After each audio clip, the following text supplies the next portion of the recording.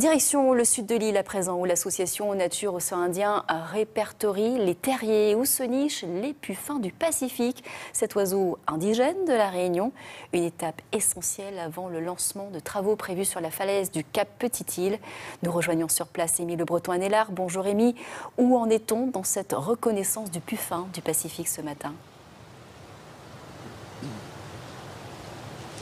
Bonjour Laura, et eh bien en ce moment même, euh, certaines équipes sont encore en train d'inventorier des terriers en bas de la falaise. Nous sommes avec Mathieu Gébus, technicien pour l'association Nature Océan Indien qui va justement nous en parler. Bonjour. Bonjour. Alors concrètement, en quoi consistent ces reconnaissances? Pourquoi on fait ça aujourd'hui? Alors le suivi du puffin, qui, donc, qui est un oiseau marin, euh, a, démarré, à La Réunion à peu près dans, au début des années 2000. Mhm.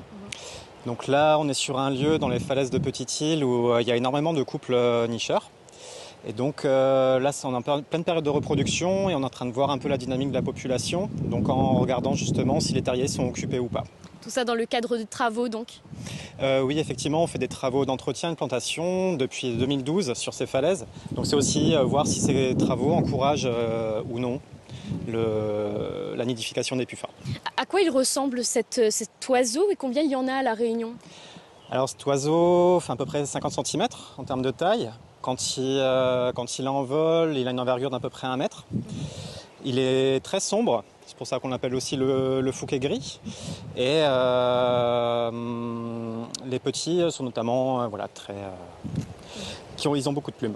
Les terriers donc, qui sont repérés au GPS, euh, pour, le moment, combien euh, de terriers ont été répertoriés, en tout cas ce matin sur le secteur? Donc ce matin, on doit être à peu près sur une cinquantaine de, terriers, sachant qu'on vient de commencer euh, voilà, le suivi qui va s'étaler sur trois jours. Merci beaucoup. voilà Laura, hein. donc ce matin, nous avons pu voir deux puffins assez timides dans leur terrier. Une quarantaine de nids ont été inventoriés ce matin et les équipes en auront encore pour une bonne partie de l'après-midi. Merci beaucoup, Amy Le Breton Anélard, pour toutes ces précisions. Et merci à Didier Payette qui assure ce direct avec vous au Cap Petite-Île.